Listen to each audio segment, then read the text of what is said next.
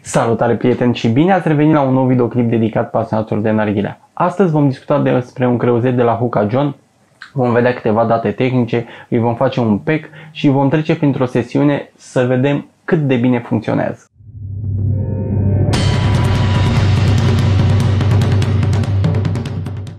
Bun, și acesta este un Trimony de la Hoka John. Probabil mulți dintre voi îl veți confunda cu un Harmony și aveți și de ce, pentru că singura diferență între ele este spirea din interior. Uh, aici are câteva tăieturi și ceea ce îți oferă un airflow mai mare. În rest, se comportă la fel ca și un Harmony, merge atât cu folie cât și cu HMD. Partea de sus are 7,5 cm, ceea ce îți dă posibilitatea să folosești absolut orice tip de HMD. Are o greutate de aproximativ 200 de grame, o înălțime de 15 cm și este confecționat din lut poros, la fel ca toate creozetele lui Hoka John. Găsim aici ștampila lui pe care el și-o pune pe fiecare creuzet. Este de o capacitate medie spre mare și vom vedea imediat cam câte grame uh, voi pune eu în el. Altceva, pun câțiva cărbuni la făcut, îi facem un pack și trecem rapid printr-o sesiune să vedem exact ce poate acest creuzet.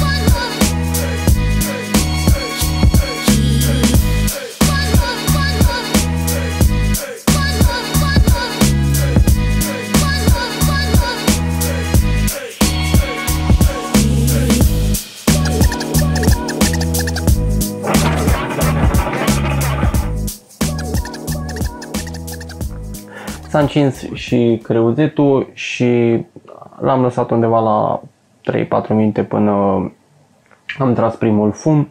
Uh, după cum ați văzut, creuzetul este de o capacitate mare. Am pus undeva la 18 grame un fluff pack, ceea ce pentru mine este destul de mult.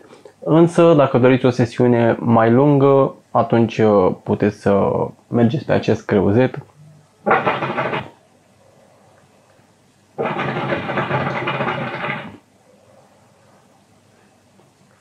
Aroma se simte bine, uh, creuzetul s-a încins și menține bine căldura, ceea ce îți oferă o sesiune plăcută. Uh, eu folosesc uh, pe astfel de creuzete HMD-ul, am pus 3 cărbuni și dacă a venit vorba de cărbun am folosit 3 cărbuni C25 Ecocea. Dacă vreți să fumați cu folie, atunci vă recomand să folosiți un Flavor Saver sau o sită.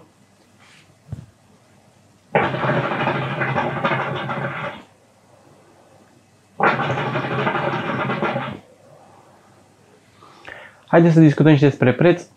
Îl găsiți pe Narghilea Shop la 150 de lei. Acolo găsiți și uh, Harmony. Vă las un link în descriere uh, cu site-ul acestora.